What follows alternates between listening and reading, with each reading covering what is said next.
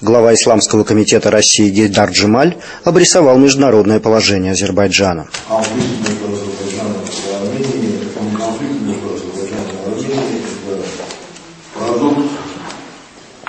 исторического вмешательства великих держав на Кавказе, начавшееся движение Армении с Турцией, а, и через, кстати говоря, Армению, а, начавшееся уже довольно давно с движением Москвы с Ангарой, создает ситуацию, при которой Азербайджан попадает в изоляцию. То есть сегодня он уже не является стратегическим партнером Турции, имеющим равноудаленное отношение с э, Москвой, Евросоюзом и Соединенными Штатами. Сегодня он является оппонентом Ирана.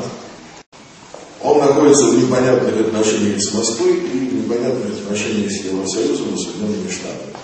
Потому что он находится в ситуации геополитической изоляции, географической изоляции, и он зажат между Ираном, Арменией и Россией, которые втроем э, фактической реализации такого движения никогда не допустят.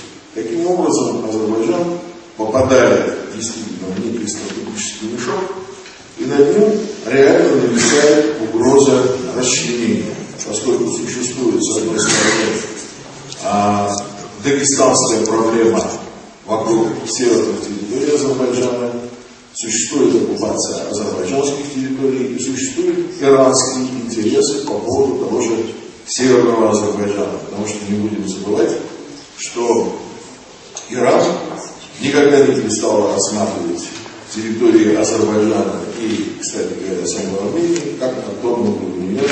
Аваз Гасанов заявил, что на Южном Кавказе необходимо развивать демократию.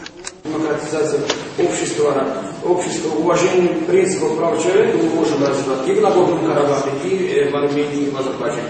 В этом мы заинтересованы. Мы, мы не э, политики, мы не участвуем в политических процессах, мы не э, обсуждаем с нашими коллегами. Это касается и Армении, и азербайджанцев, и карабахцев. Мы заинтересованы. Но мы в этом нуждаемся в поддержке России, мы нуждаемся в поддержке интеллигенции России, мы нуждаемся в поддержке э, представителей, деятелей культуры России, журналистов России. У вас огромный потенциал, у вас и языкового барьера нет, у вас нету и административного, и, может быть, регионального барьера. Директор Ереванского института Кавказа Александр Скандарян отметил, что после разрыва российско-грузинских отношений Россия для укрепления своего влияния на Кавказе заинтересована повысить свою роль на горно-карабахском урегулировании. Сейчас, это последние чуть больше года, то есть после августовской войны, происходят кардинальные изменения в регионе. Э, формат Южного Кавказа изменился, меняется или даже уже изменился. Если смотреть из Москвы, то Грузия из этого формата выбыла. Она сейчас, конечно, грузинско-российские отношения, э, это тоже формат, конфликт, есть отношения, тоже вид, вид отношений. Но это другой формат. Грузия в политическом смысле находится где-то между Россией и Западом, наверное, я не знаю, но во всяком случае, частью южно-кавказского формата она не...